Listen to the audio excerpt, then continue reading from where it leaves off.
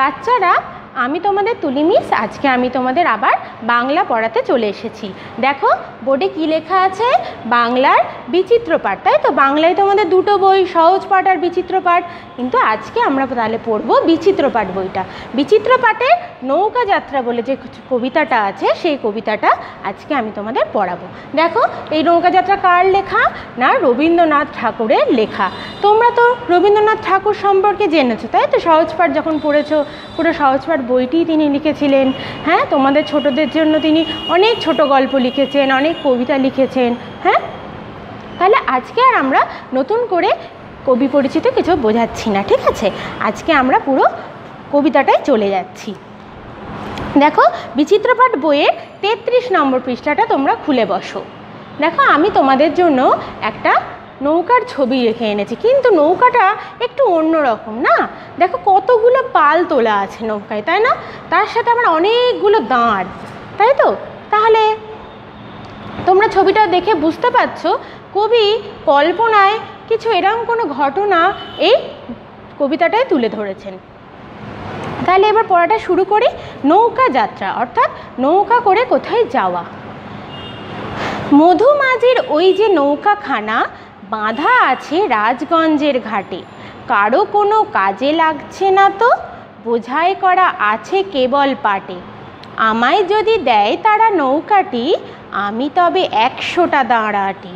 পাল তুলে দিই চারটে, পাঁচটা, ছটা। মিথ্যে ঘুরে বেড়ায় না কো হাটে। আমি কেবল যাই একটিবার, সাত সমুদ্র তেরো নদীর পার। তাহলে দেখো কবিতাটায় কি বলছে? যে মধুবাজির একটা নৌকা।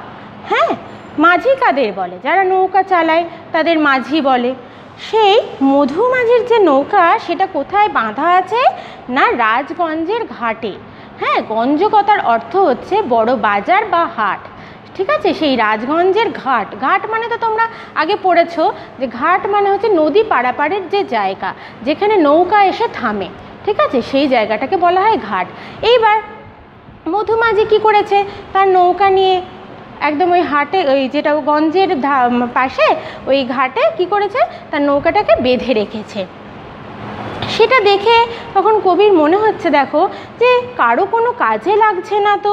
বোঝাই করা আছে কেবল পাটে।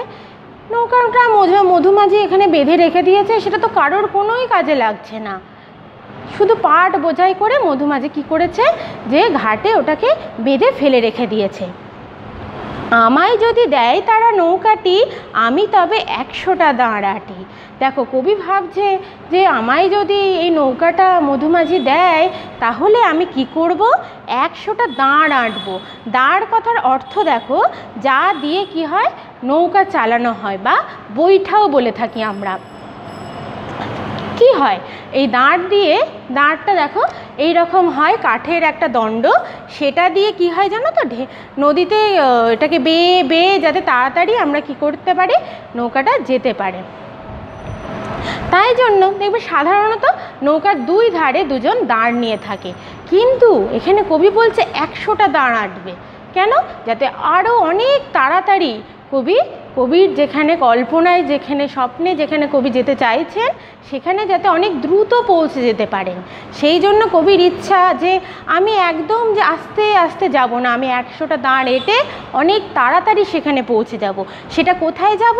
সেটা পড়, এবার পড়তে থাকি আমরা। দেখো, তারপরে বলছে, পাল তুলে দিই চারটে, পাঁচটা, ছটা। পাল কথার অর্থ হচ্ছে কি বলতো? বাতাসের সাহায্যে নৌকাকে চালানোর জন্য নৌকার মাছ তুলে এইটা হচ্ছে এইটাকে বলে মাস্তুল দেখো সোজা একটা কাঠের দণ্ড উঠে গেছে, এইটাকে বলা হয় মাস্তুল এই মাস্তুলে খাটানো কি হচ্ছে? কাপড়ের পর্দা। এইটাকে বলা হয় পাল।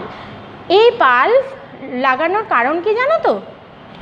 যখন নৌকাতে, যখন চারিদিকে অনেক হাওয়া দেয় হ্যাঁ তখন এই নৌকায় পাল তুলে দিলে আর বেশি দাঁড় বইতে হয় না কষ্ট করে। হাওয়া ওই কাপড়ের যখন ধাক্কা লাগে, তখন ওই হাওয়াটা যেই কাপড়ে লাগে, তখন ওইটা নৌকাটাকে সরিয়ে নিয়ে যেতে সাহায্য করে। তাই কি বলছে? যে শুধু একশোটা দাঁড়ই তিনি আঁটবেন না, তার সাথে চারটে, পাঁচটা, ছটা পালও তুলে দেবেন, যাতে আরও তাড়াতাড়ি তিনি যেতে পারেন। মিথ্যে ঘুরে বেড়ায় নাকো হাটে। আমি বলছে, কবি বলছে যে আমি কিন্তু এমনি এমনি মিছিমিছি হাটে হাটে ঘুরে বেড়াবো না। আমি কেবল যাব একটি বার সাত সমুদ্র তেরো নদীর পার।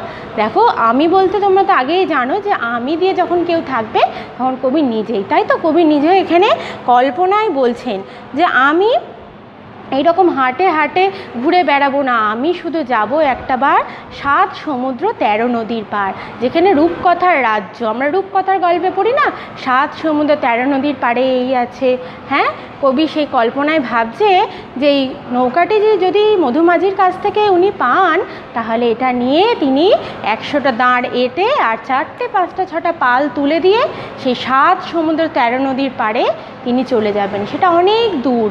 সেই জন্য যাতে অনেক দ্রুত পৌঁছতে পারেন, সেই জন্য এই তিনি একশোটা দাঁড় আঁটবেন আর চারটে, পাঁচটা, ছটা পাল তুলে দেবেন। তারপরে দেখো, নিচের অংশটা পড়ো বড়রা কাজে, বড়রা থাকে নানা কাজে ব্যস্ত। আর শিশু চায় তার মনের ইচ্ছা মতো ঘুরে বেড়াতে। তাই মধুমাঝি নৌকা দেখে সে ভাবছে, পাট বোঝাই নৌকাটা মিছিমিছি ঘাটে বাঁধা।